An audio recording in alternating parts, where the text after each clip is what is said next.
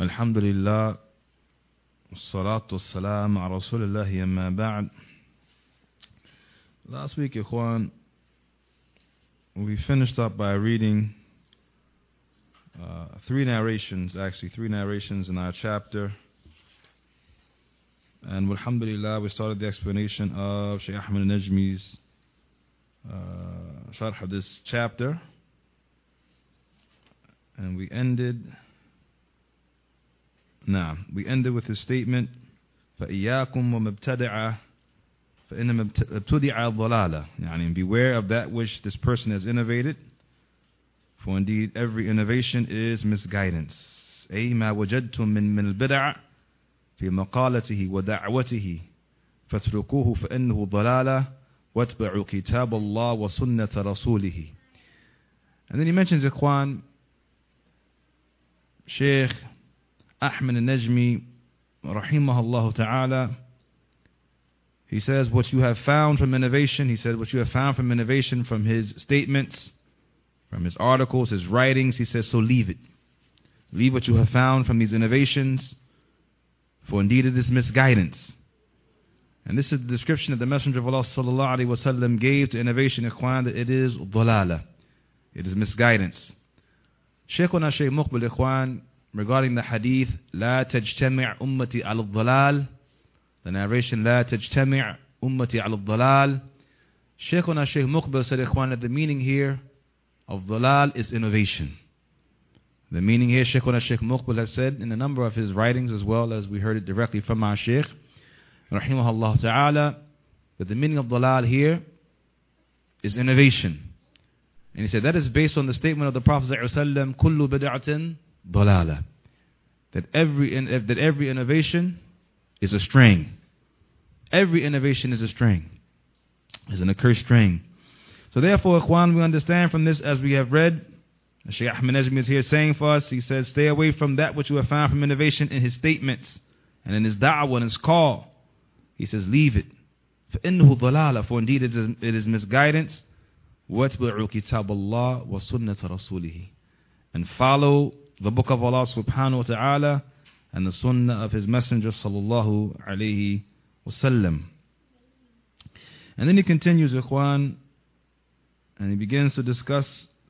Then that last part was from the narration of Mu'adh ibn Jabal, from the narration of Mu'adh ibn Jabal.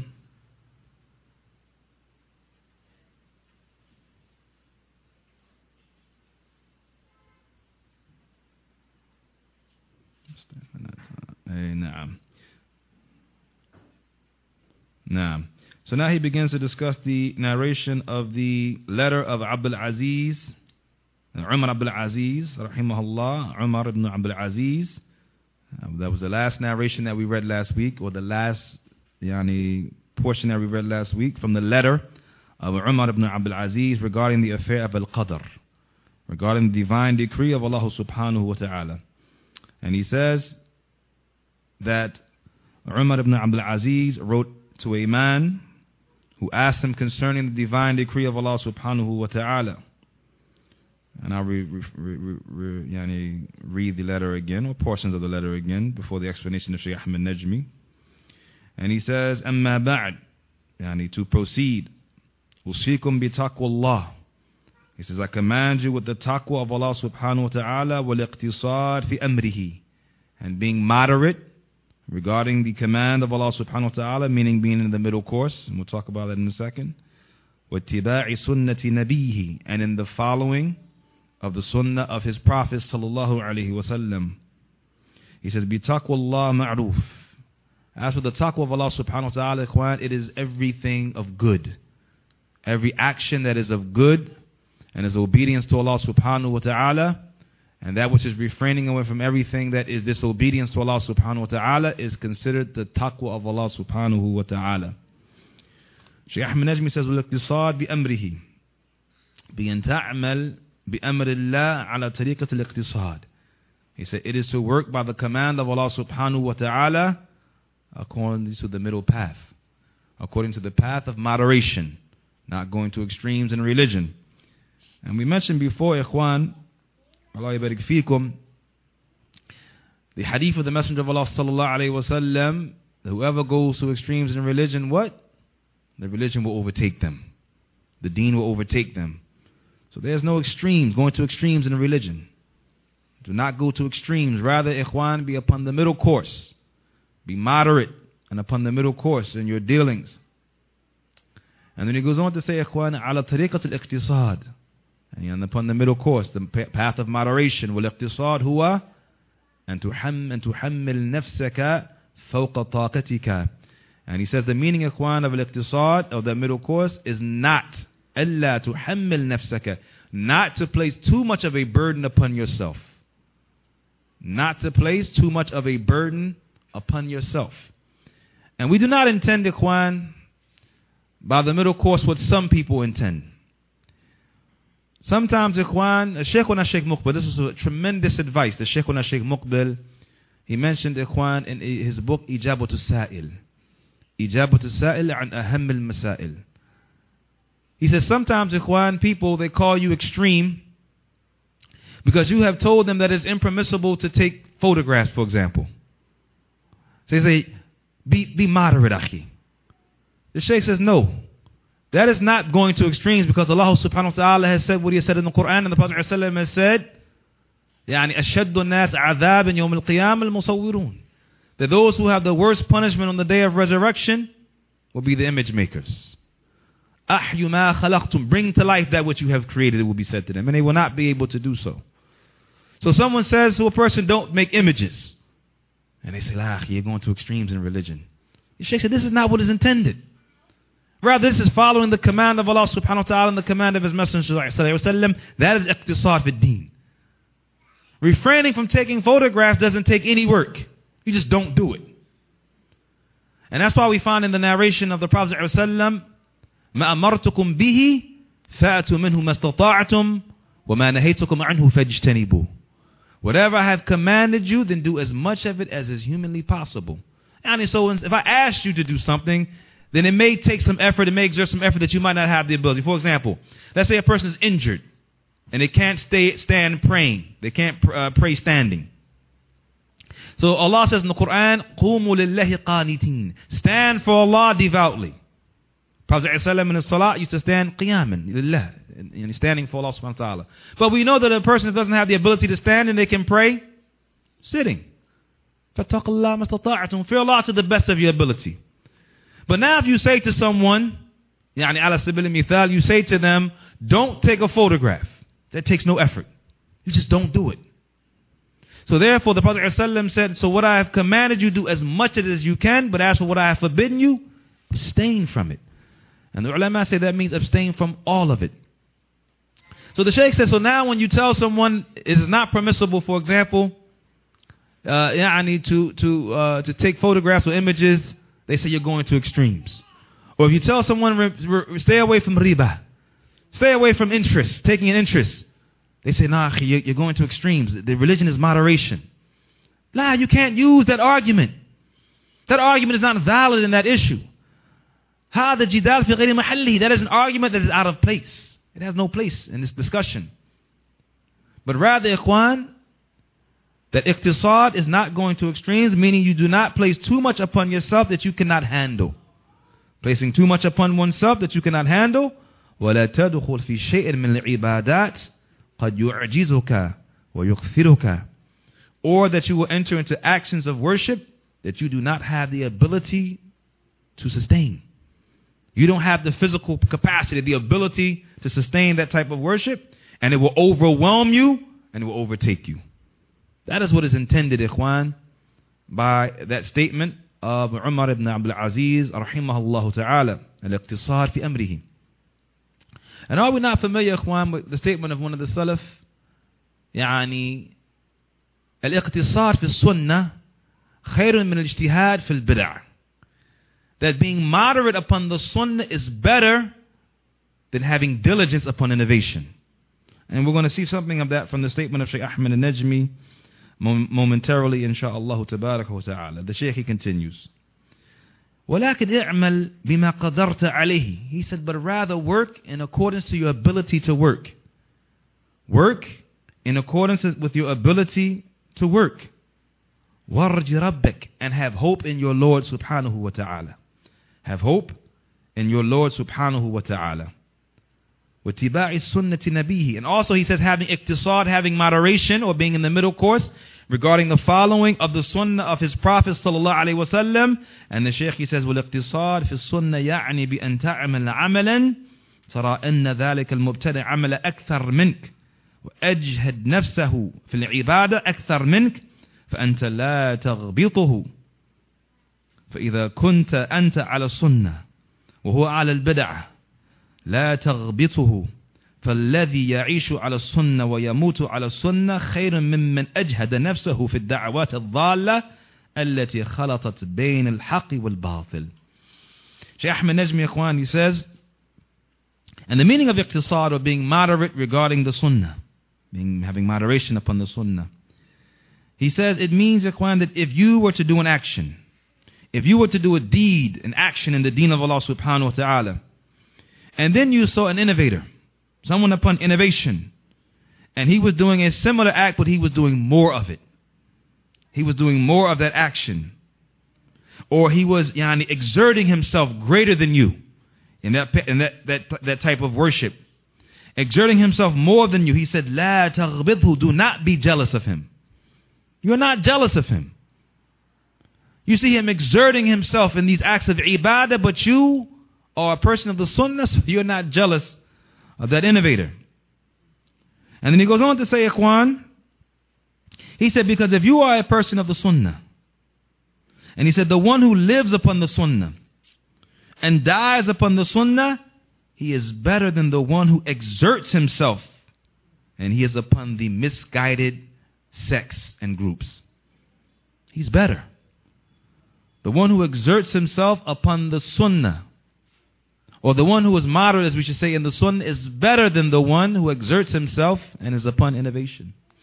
Sometimes, ikhwan, and this has been something that we've heard since yani, I can remember, that whenever you disparage someone who falls into innovation or falls into hizbiyah or falls into mukhalafa, yani, in opposition to the sunnah of the Messenger of Allah Muhammad, the first thing they say is you are jealous. Never fails. It ha- it's not since I since I can remember, Ikhwan, since we've been dealing with these affairs, it has not failed yet. They are jealous of him. They're just jealous of Fulan. That's why they're warning against him because they're jealous of Fulan. Let me ask you a question, Ikhwan. For argument's sake, let's say someone was jealous. Does that change the fact that they've opposed the Sunnah? If that was the case, for argument's sake, now I'm just I'm putting out there for argument's sake. That a person, for example, gets on the mimbar and curses the rulers of Al-Islam. And then someone refutes them. Let's say for argument's sake, and we can't look into the hearts of the people, which is my next point. But let's say for argument's sake that it was jealousy. Does it change the fact that that man got on the mimbar and cursed the rulers of Al-Islam? Doesn't change it one bit. So your argument is futile. It has no legs to stand on. It is weaker than a spider's web. The second point, the second argument, is that jealousy is an affair of the heart. How can you now say that the person is jealous of this individual? That's the second point. We know the narration of the Messenger of Allah وسلم, of that man on the battlefield that when the sword was about to come down upon him, he said, Ashhadu an la ilaha illallah وأن محمد رسول الله he testified to the shahadatain or he took he entered to al-Islam yeah. so the companion he struck him anyway when this reached the messenger of Allah وسلم, he asked him why he had done this for, for what reason did this man يعني, takes the shahada and you strike him he said he only said that because he feared for his life and the Prophet ﷺ said that you open his chest and open his heart to see if that was his intention Meaning, of course, you don't have the ability to do so. What did that companion say when the Prophet ﷺ said that to him? What did he say?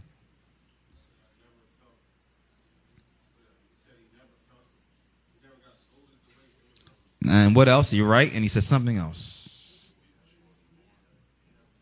He wished that he had either been born to that point or he had not accepted Islam until that very point. In other words, he wished he had a clean slate. That's how severe and serious that thing was. So now a person says they're just jealous. They're just jealous. Sheikhuna Sheikh Rabi Akwan, in his book, or in his work, we should say, it's been transcribed, An-Naqd, An-Naqd Manhajun Shari'iyun. Criticism is an Islamically legislated methodology. An-Naqd Manhajun Shari'iyun. Criticism is an Islamically legislated methodology. And the Sheikh, he mentions in that particular work, Ikhwan, this very same statement, where the people say, yani, whenever you refute the figureheads of innovation, whenever you refute the, yani, the, the, those who call to these affairs of party partisanship and evil and, dest- and, and, and destruction, the first argument that people bring is that they are jealous. That the people are jealous. And as we have said, Ikhwan, that this in no way has any legs to stand on, and they don't have the ability to refute the arguments. They don't have the ability to refute the argument, so they try to put up, as we call, smoke screens, Ikhwan. They try to place smoke screens in the way. Because if a person can say, for example, that they're jealous, then ah, that's the reason why they're refuting. And then the question becomes, and jealous of what? Which is the next question. Exactly what are they jealous of? And sometimes people don't stop to think, Ikhwan. Sometimes you look at a person, for example, of the likes of Yani Sheikh al-Albani, muhaddith.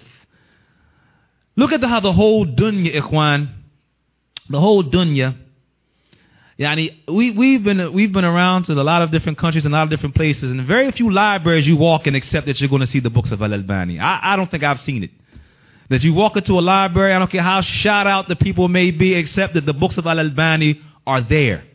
And as some of our mashaykh have mentioned, sometimes if, if they don't have them out for, on display, they hide them in the cupboard underneath. They don't want nobody to know they're there, but they're there.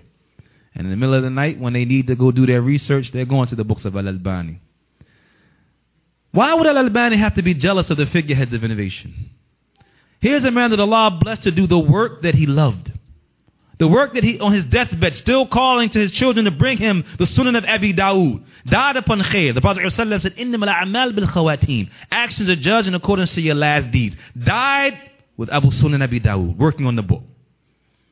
Lived and died doing the work that he loved, defending the sunnah of Muhammad until the whole dunya, ikhwan, as we said, had to use the books of Al-Albani, even his enemies. Jealous of what? Jealous of what? Sheikhuna Sheikh Muqbil came back to Yemen. And his da'wah was spreading to the point, ikhwan, where Sheikh Al-Anjari mentioned that the newspaper said, Sheikh Anjari said, the newspaper said, we didn't say, the newspaper said that Sheikh Muqbil was responsible for over a million Shia repenting and coming to the Sunnah in Yemen. How many camps were spread in, in, in, in, in, in yani, centers of learning, spread all throughout Yemen at the hands of Shaykhuna Shaykh Muqbil and his students, rahimahullah ta'ala. Jealous of what? And not that we're concerned with numbers, that's not the point, but the point is it's the da'wah Allah subhanahu wa ta'ala. Shaykh al-Albani said, I don't know of anyone in our time that is like Shaykh Muqbil in the da'wah Allah subhanahu the call to Allah subhanahu wa ta'ala. Jealous of what? Exactly. But the Sheikh and Sheikh Muqbil used to always say, Ikhwan, and he used to say this constantly, constantly as a reminder. Who said, لَيْسَ مِنْ قُوَّتِنَا وَلَا min ilmina, وَلَكِنْ مِنْ rahmatillahi subhanahu wa taala." He said, we're not in any position because we, we're so strong, we have strength. We're not in any position whatsoever because we got knowledge, nothing to do with that. It is only by Allah's mercy. Jealous of what? Jealous of what, Ikhwan, is the question. When a person is doing the work that they desire, that they love, calling to the sunnah of Muhammad defending the sunnah, trying to the best of their ability to defend the sunnah of Muhammad jealous of what? Jealous of what, ikhwan? So the Shaykh he continues and he says, so if the person, if you see that innovator striving,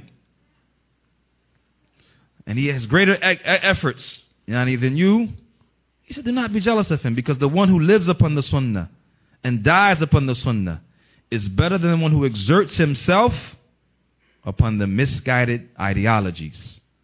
What did Imam Ahmad ibn Hanbal say, Ikhwan, about the person who dies from Ahlul Sunnah from the sinners? What did he say about the one who dies from Ahlul Sunnah from the people of sin? From Ahlul Sunnah from the people of sin. What did he say? Huh? What, no, what did he say about their grave? Ahmed ibn Hanbal. What did he say about their grave? He said their grave is a rawd min riyad al-jannah, a garden from the gardens of paradise. And what did he say about the worshiper, the diligent worshiper from the people of innovation? His grave is a pit from the pits of punishment. Alaikum salam wa rahmatullahi wa barakatuh. Jealous of what, ikhwan? Jealous of what? Allah yabarak fikum. Look at the sunnah how the sunnah honors a man. Look at how the sunnah honors an individual. Look at how the sunnah raises an individual in degree. And look how and look how innovation makes a man lowly and despicable in the earth and in the eyesight of the people in the sight of Allah subhanahu wa ta'ala. So therefore jealous of what, ikhwan? Allah yabarak fikum. Sheikh Ahmed Najmi, he continues, ikhwan, he said these groups of which have a mixture of truth and falsehood in them A mixture of truth and falsehood. And remember what Shaykh al-Islam ibn Taymiyyah said, ikhwan, that that which Ahlul Sunnah has with them is sufficient. Therefore, there's no need for you to try to go and, and, and search and seek. One of the old, wa salam, one of the old arguments, ikhwan, one of the old methodologies, and, it, and, and I say old meaning that it's not new, but not like people aren't still using this statement. نأخذ الحق ونترك الباطل. We'll take the good and we'll leave the bad. So we'll read this book, yani this book, because there's some benefit in this book. Yani this book of this, this person of innovation, for example, this person of hizbi of evil, or this person who's giving a class of evil. Listen, I'm going to go to the class, I'll take the good, and I'll leave the bad. Shaykhuna Shaykh Muqbil, he mentioned Ikhwan regarding this matter. He said, This is from a people who don't know Tawheed from, from, from, from Shirk. They don't know Bid'ah from Sunnah. They don't know khair from shar. They don't know good from bad. Can't distinguish between affairs. Don't have the ability to distinguish between good and bad, sunnah and innovation, shirk and, and, and, and tawheed. Don't have the ability, but they're going to go into the books, they're going to go into these classes, and they're going to choose what's good and what's bad. I'll give you a similar to the Quran. I'll give you an analogy. Two bodies of water. Two bodies of water. One body of water, pristine, clear, crystal clear, spring water fresh to the drink. Another body of water has some water that you can, if you search around and you sift through it well enough and you get you a little, uh, what do you call it, a, a filter, you can find some water, some good water there, but for the most part, it's, it's murky, it's got bugs in it, it's got insects in it, it's got yani, filth in it. But if you get a filter and you figure it out, and you, which one are you going to drink from? So why, why are you talking about taking the good and leaving the bad? Go to the pristine, the, the pristine waters, Ikhwan. Leave that argument alone. That argument is, is, is, is, is volatile, it's falsehood, it's futile. That person has placed themselves in great danger. That individual has placed themselves the, at the feet of great danger because they don't have the, they don't have the understanding. I'll give you an example, Ikhwan. I'll give you an example. I hand you a book. Book of Hadith. You don't have any chains in the book. Let's say for argument's sake. You don't have and if there were chains, you don't know what, you don't know what to do with them anyway. I give you the book and I say, Tayyib, khalas, you take this book and you live by this book. So what should you, what should be your response? What should be your response, Ikhwan? I'm asking you a question. What should be your response? Who's the author of the book? Then what? Is the book, are the narrations authentic or not authentic? Because now I give you a book and I don't tell you anything else. The book, the, the narrations are not checked. And then let's say, for argument's sake, the book that I give you, Aquan, just happens to be a book that every narration in it is, is fabricated.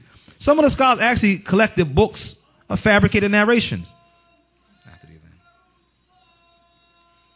Some of the scholars of the past, Aquan, authored books, yani specifically in the mawdu'at, yani fabricated narrations. So now someone gives you the book, yani just gives, hands you the book and you're reading the book and you, so you're reading all these narrations and you don't know any better, so you're saying the prophet said, the prophet said, the prophet said, because you don't know this is a book that has fabricated narrations in it. Or the books that have authentic with unauthentic narrations, whatever it may be. And then you have Sahih Bukhari on the other side.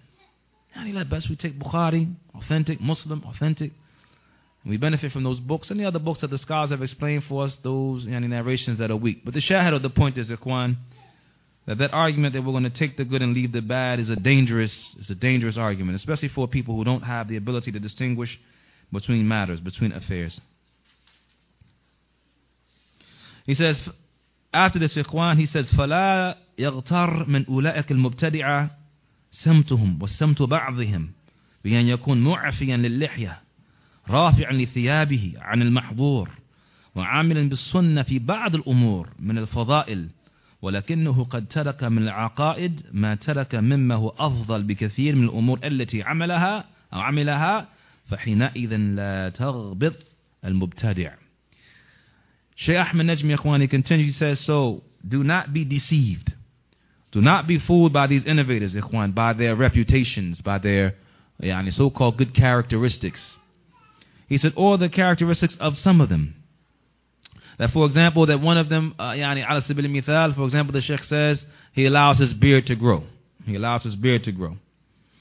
Or one ikhwan who has raised their lower garment, yani, above the uh, ankle bone, as the Prophet ﷺ said, مَتَحْتَ الْكَعَبَيْنِ فَفِي النَّارِ Whatever is below the ankle bone is in the hellfire. So this individual may raise that above his ankle.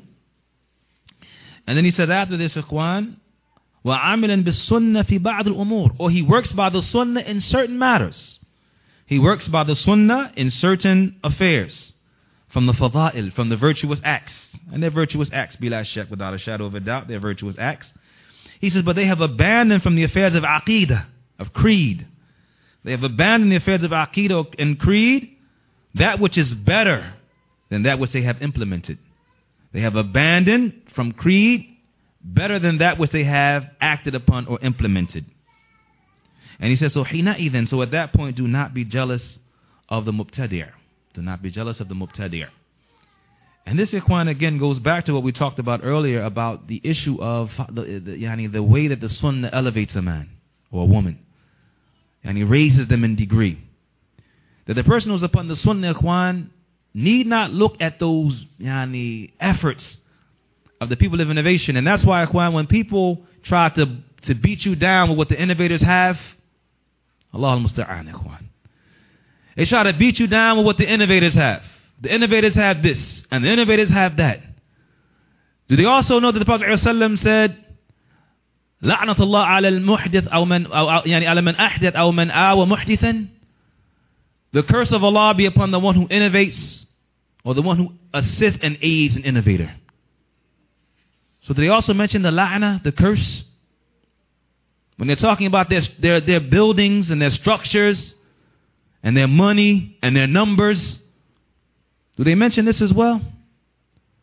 Do they mention that the Prophet ﷺ said, "Man ahdatha fi amrina hadha malaysa minhu furad." Whoever innovates in this affair of ours, that which is not from it is rejected.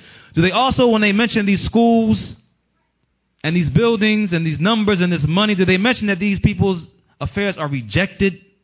and not accepted from them? Ikhwan, the sunnah, ikhwan, wallahi, it elevates a man. A man is honored by his adherence to the sunnah. A man is raised by his adherence to the sunnah. And therefore has no reason whatsoever, ikhwan, to be jealous. There's no reason whatsoever, Sheikh Shaykh Ahmed Najmi is saying here. There's no need, no reason to have any envy or jealousy of these individuals, as you have been given that which is better and that is the sunnah of the Messenger of Allah Muhammad And I say on that point, Ikhwan, the Prophet Ikhwan, one time Umar ibn Khattab, he found the Prophet in his room, in a small room. And this is after the Prophet had left his family for a number of days. And the rumor had spread that the Prophet had divorced his wife, sallallahu alayhi wasallam. And when Umar came in the Quran, it mentions the narration that he only saw like a handful of barley or a handful of wheat or like this in one corner of the room. And the Prophet ﷺ was laying on a straw mat, and his side was, was uh, imprinted from the straw mat, from the roughness and the coarseness of the straw mat. And Umar began to weep. Umar ibn Khattab, who the shaitan used to cross the street when he saw, he took another way when he saw Umar. Umar began to weep. And the Prophet ﷺ asked him, What causes you to weep? Ya Ibn Khattab. And he said, Verily, the kings of Persia and the kings of Rome, they have their gardens and their palaces. And here you are, the messenger of Allah, and you're here laying on this straw mat. You don't have anything in this room but a handful of barley or a handful of wheat. And the Prophet ﷺ said, Ya Ibn Khattab, he said, Is it not sufficient for us that we have the next life and all they have is this life? If we're truly, now going to Look at just structures. And I'm not saying that, this, that, that, that yani, and I don't mean Ikhwan now that we, you know, we don't try to make our masajid clean and neat and nice for the prayers to come. That's not my point now. My point is when a man is upon innovation and that is what you use to strike a Salafi with. This is my point. So now you have Ikhwan, the Prophet's Masjid. And we know the description of the Prophet's Masjid, how humble it was. Now think about the structures of worship during that time in the Christians in, in, in Egypt and the Christian structures in Rome. So are we saying that the Prophet's mission was subpar? Because he didn't have structures like their structures? No, Ikhwan, the Tawheed of Allah sprung forth from that masjid in Al-Medina and it reached the corners of the earth because of the sincerity of the message because of the sincerity of the people, the companions who spread that message after the Messenger of Allah وسلم, and the dunya came to them because they weren't looking for it. The dunya came to them because they weren't looking for it. Their concern was the spread of al-Islam. Their concern was the sunnah of the Messenger of Allah Muhammad and clinging to it and refuting those who came forth with innovation. And they weren't impressed with those who came forth with innovation. Those Qadariya Ikhwan, memorizers of the Quran, Ibn Umar said, I'm free from them, they're free from me. Wasn't impressed. Prophet ﷺ said about the Khawarij that they would leave the deen faster than the arrow goes to the hunted game. Wasn't impressed with their ibadah. We are not jealous, Ikhwan. That which we are impressed with is a man a man's adherence to the sunnah of Muhammad wasallam. Other than that, we are not impressed. It doesn't impress us. We're not impressed by your structures and your numbers and your money if you are upon kufr and upon shirk and upon mukhalafa, disobedience and opposition to the sunnah of Muhammad We are not impressed. Nor are we jealous. As there is no need for us to be jealous, as walillah alhamd ikhwan, we understand that following the sunnah raises and elevates a man. Raises and elevates a man. I end on this last point, inshallah ta'ala. The Shaykh he says after mentioning the statement, وَتَرَكَ مَا أَحْدَثَ الْمُحْدِثُونَ and abandoning that which the innovators have come with from the letter of Umar ibn Abdul Aziz. He says, Shaykh Ahmed Najmi says, أُتْرُكْ مَا أَحْدَثَ الْمُحْدِثُونَ Abandon that which has been innovated by the people of innovation, the mubtadi'een. And he says, بعد ما جرت به سنته after what has come from the sunnah of Muhammad صلى الله عليه وسلم. And the Shaykh says, يأتون إلى السنة ويحدثون فيها فيزيدون فيها ما يحولها إلى بدعة مثلا صوم ثلاثة أيام من كل شهر. He said, for, so now he said these innovators, they come to a sunnah from the sunnah of the Prophet sallallahu alaihi wasallam and they add to it or they change it so it no longer sunnah now becomes innovation. Something that was originally a sunnah, and now they come to it and add to it and change that sunnah into an innovation. And he says, for example, fasting three days from every month. Fasting three days from every month is a sunnah. Sunnah. He says, but then he says, but these individuals, they come, ikhwan, يأتي هؤلاء وقال الواحد منهم, but then they come and one of them says, يعني معنى الصوم جماعي. So we're going to all fast together tomorrow. Three days. We're going to fast together as a jama'ah, as a group. We're going to start tomorrow, Monday. We're going to fast together on Tuesday. We're going to fast together on Wednesday. And then the Sheikh says, he says, Nasum jami'an wal fitr inda fulan. So we're going to all fast together and then we're going to break our fast together in the house. That's how we're going to do it. So now for three days. Three days from every month is sunnah. Yes or no? Sunnah. But now look what these innovators have come and done to it, Ikhwan. They have changed the sunnah of Muhammad into something. They have turned the sunnah of the, the Prophet into something, ikhwan, that is bid'ah. Innovation. And then he goes on to say, ikhwan, Shaykh Ahmed Najmi, he says, he says, uh, he says, نعم. وهذا, he says, ابحثوا في الكتب he said, research and look into the books of narration. He says, هل تجد أن النبي صلى الله عليه وسلم قال لأصحابه نصوم صوم جماعي ونفطر جماعي Look into the books of the Salaf and see if you find the Prophet ﷺ saying to his companions, all of us will fast together tomorrow and then we will all together break our fast together. He says, look in the books and see if you find this. You're not about to find this. You're not about to find this, he says.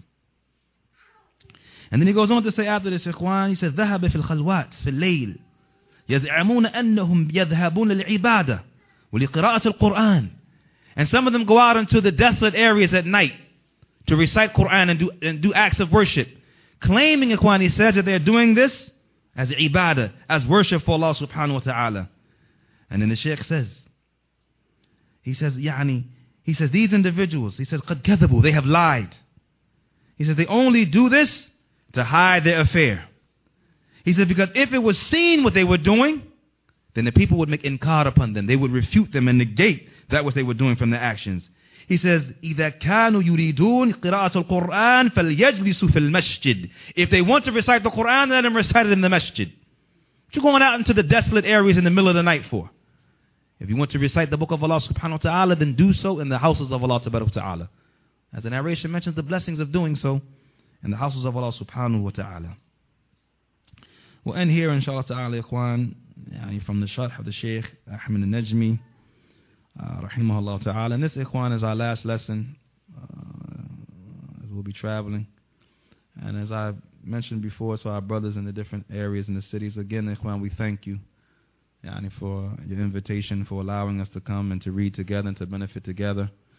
And we hope to Allah subhanahu wa ta'ala that we were able to bring forth something of benefit, inshallah ta'ala, from that which we read from our scholars, from our mashaykh, from the, the explanations of the ayat of the Book of Allah and the Sunnah and the verses uh, and the uh, hadith of the Sunnah of the Messenger of Allah sallallahu alaihi wasallam. And again, we thank our brothers for their patience yani, and sitting with us over this time. We hope to Allah subhanahu wa ta'ala that we'll have more opportunities in the future. Bi ta'ala. Assalamu alaikum wa rahmatullahi wa barakatuh.